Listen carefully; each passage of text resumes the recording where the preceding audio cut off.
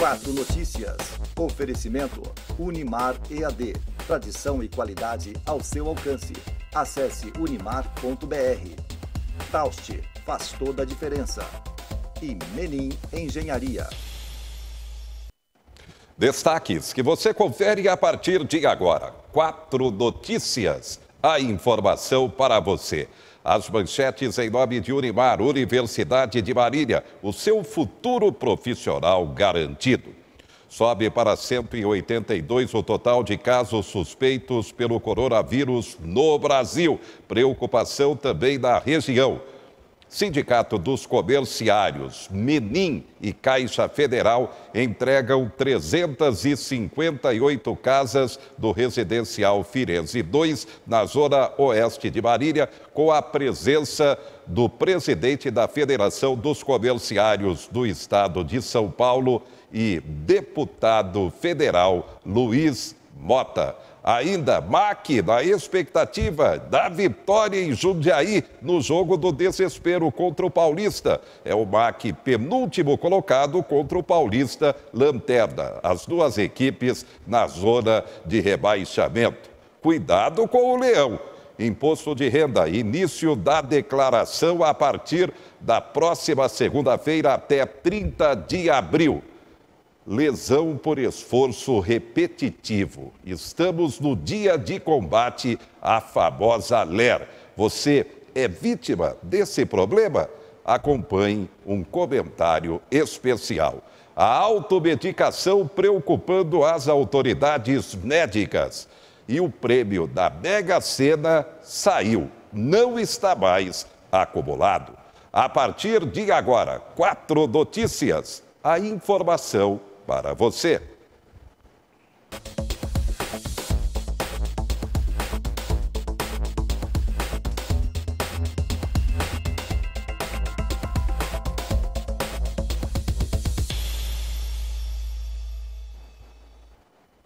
Sobe para 182 o total de casos suspeitos pelo coronavírus no Brasil, acaba de divulgar o Ministério da Saúde. Caso confirmado, apenas um aquele empresário de 61 anos de idade que contraiu a doença na Itália e veio para o Brasil. Lembrando que na Itália já são quase 20 mortos. No mundo já temos quase 90 mil casos pelo coronavírus. O Ministério da Saúde está lançando uma campanha de orientação à população. E a gente continua falando sobre saúde. O Brasil é um campeão mundial na automedicação. É preciso cuidado. Confira. Há um ano, se olhar no espelho, nem pensar. A foto foi tirada em 2019, durante férias com a família. Valéria queria perder 10 quilos. Em vez de procurar um médico, descobriu que um remédio para diabetes poderia ser a solução.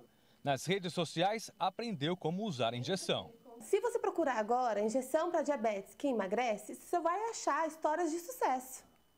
Histórias de pessoas que emagreceram. Ninguém vai chegar e falar assim, olha, não compra, porque é furada. Ela gastou 800 reais à toa. Eu tive enjoo leve, não tive aperto de apetite, tentei até assim segurar a boca para ver se valia valer né, o investimento mas não emagreci. Emagrecer com informações tiradas apenas da internet é um risco. Remédios para diabetes ou outras doenças que têm a perda de apetite como efeito colateral podem ser perigosos para a saúde de quem quer apenas emagrecer. Então, as medicações injetáveis, né, que são basicamente para diabetes, que é a liraglutida, que tem os dois nomes comerciais, que é o Victoza e o Saxenda, sem acompanhamento médico, né, pode inclusive ter o risco de pancreatite ou risco de vida. Quais são os sintomas mais comuns? Náusea, risco até de vomitar e mexer no intestino. Pode ter diarreia ou constipação. A perda de peso requer acompanhamento médico. Uma perda de peso ela tem que ser sustentada. Então a medicação ela serve para ajudar a pessoa a ter um hábito mais saudável. Então ela tem que comer menos. Qual a melhor dieta? Aquela que a pessoa consegue fazer desde que ela coma menos. Atividade física e dormir melhor. Hoje a Valéria já conseguiu perder 12 quilos com reeducação alimentar. Demorou mais tempo, mas a saúde agradece seja pouco e malhar. Aí sim a balança diminui. Tá aí. E neste dia 28 de fevereiro é lembrado o Dia de Combate à famosa LER. a lesão por esforço repetitivo, um problema que atinge cada vez mais a população mundial e não é diferente aqui no Brasil. Especialista faz o comentário, inclusive criticando a falta de retaguarda da, legisla... da legislação para quem tem o problema. É um problema sério de saúde pública. Ele comenta. É importante destacar que a subnotificação das doenças relacionadas ao trabalho é uma realidade no Brasil.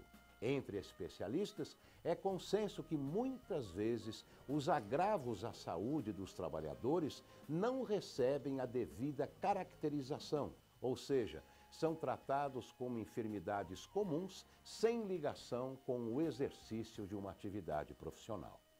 Por meio da Portaria 777-2004, o Ministério da Saúde determina que 11 agravos relacionados ao trabalho são de notificação compulsória e devem ser comunicados ao Sistema Nacional de Agravos de Notificação, SINAM.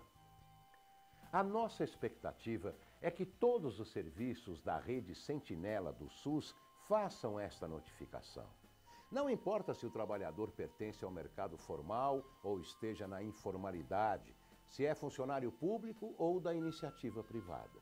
Essas notificações permitirão um olhar ampliado sobre o adoecimento nos ambientes profissionais.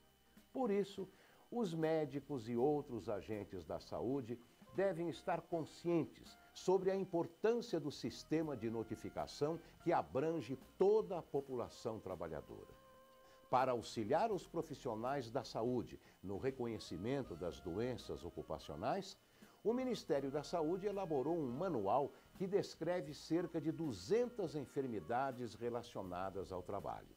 O material está disponível no site www.saude.gov.br. De todas as doenças relacionadas ao trabalho, as LERDORT são das mais incapacitantes. Elas decorrem de atividades laborais que exigem esforços repetitivos e sobrecarregam o sistema músculo-esquelético. Este é o tema abordado neste programa. No início, a dor só acontece durante a jornada de trabalho e cede a medicamentos e outros tratamentos. Mas depois, ela invade as noites e fins de semana. Além da dor, podem ocorrer sensações de fraqueza, cansaço, formigamento e dormência.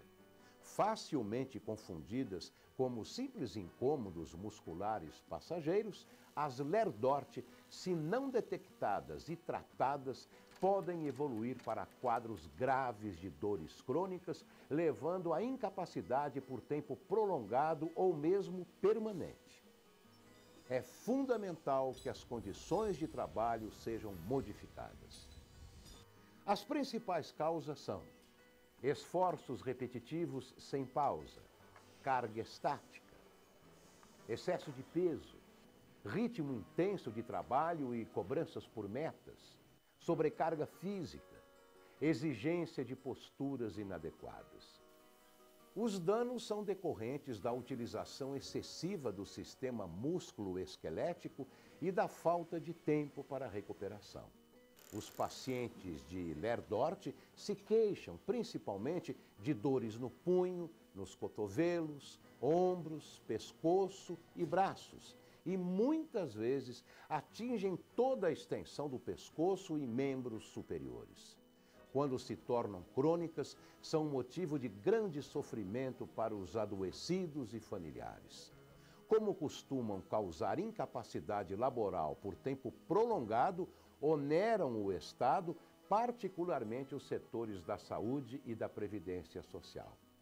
Os benefícios previdenciários por incapacidade concedidos para os pacientes de Lerdort representam, nos últimos anos, mais de 50% daqueles concedidos aos portadores de doenças ocupacionais em geral. É importante que nos atendimentos aos trabalhadores a avaliação clínica seja completa, incluindo a anamnese ocupacional e um exame físico bem feito, Ouvir o paciente sobre a descrição dos sintomas de dor, formigamento, fatores de melhora e piora facilita o diagnóstico. Avaliar as características desses sintomas, perguntar sobre outras doenças que ele possa ter, sobre atividades do dia a dia, sobre antecedentes individuais e familiares e muita atenção para a anamnese ocupacional. Deve-se prestar atenção às informações sobre as atividades de jornada de trabalho, métodos utilizados pela empresa para garantir a produtividade, posições e movimentos exigidos para executar as tarefas. E muita atenção para o exame físico, que precisa ser feito cuidadosamente. Depois desses procedimentos, é possível chegar a uma hipótese de diagnóstico. Os exames complementares e avaliações com especialistas, sejam das áreas de reumatologia, ortopedia ou neurologia, só devem ser solicitados em caso de dúvida. Do contrário, deve-se notificar a ocorrência ao SINAM. Lembre-se que, quando detectadas precocemente, as chances de recuperação são grandes e quanto mais informações forem fornecidas às secretarias de saúde dos municípios e dos estados e ao Ministério da Saúde, mais elementos haverá para definir ações de prevenção nos locais de trabalho. Com as informações que você obteve para fazer o diagnóstico, o preenchimento da notificação fica mais fácil. Ele é simples e não toma muito tempo. A ficha é dividida em blocos de informações há uma própria para cada doença ocupacional. E em cada uma delas são registrados os dados básicos sobre o trabalhador, a sua atividade, os agravos associados, o tempo de sua exposição ao agente de risco, os detalhes do tratamento e as conclusões do médico. Após o encaminhamento das informações para o banco de dados, elas serão formatadas e incluídas no sistema, servindo como base para o desenvolvimento de políticas públicas de prevenção e atenção à saúde do trabalhador. Em qualquer atividade empresarial do mundo moderno, os principais objetivos serão sempre o aumento da produtividade e da qualidade dos produtos e serviços, para que o lucro seja alcançado e mantido. Na maior parte das vezes, a saúde do trabalhador não entra neste cálculo e os danos físicos e psíquicos aparecem com alta frequência, atingindo as mais diversas ocupações profissionais. A insalubridade do trabalho e a falta de prevenção adequadas têm causado doenças e acidentes graves, além de gerar grandes prejuízos ao Estado.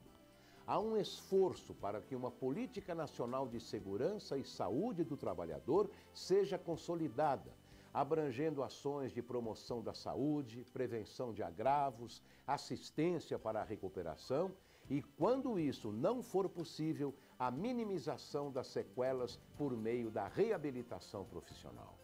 Para isso, contamos com a colaboração dos médicos e demais profissionais da saúde porque somente com a notificação adequada das doenças ocupacionais poderemos trabalhar junto com os trabalhadores e empresários pela melhoria da qualidade de vida para todos. Se você tiver dúvidas, procure o Manual de Doenças Relacionadas ao Trabalho e os protocolos de complexidade no site do Ministério da Saúde www.saude.gov.br. Tá aí, uma questão realmente muito séria.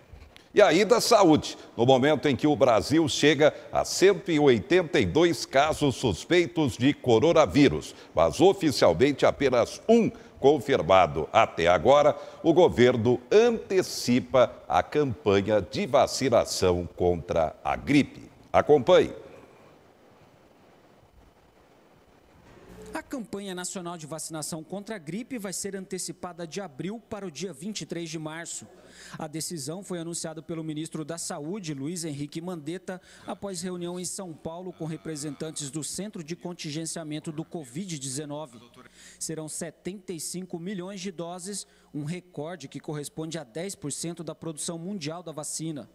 A medida deve facilitar o diagnóstico do novo coronavírus. Se essa vacina ela me dá cobertura, ela deixa o sistema imunológico do indivíduo, de 80% daqueles que tomam a vacina, protegidos contra essas cepas de influenza, essas cepas virais que estão circulando, que são milhares de vezes mais comuns do que o coronavírus, para um eventual profissional de saúde, um médico, hora que o indivíduo, um mês depois, dois meses depois, se ele tem um quadro gripal e ele informa que foi vacinado, ele auxilia muito o raciocínio desse profissional para pensar na possibilidade de outras viroses que não aquelas que são cobertas pela vacina. A estratégia de enfrentamento ao coronavírus no Brasil vai ser diferente da que foi adotada pela China, que internou todos os pacientes.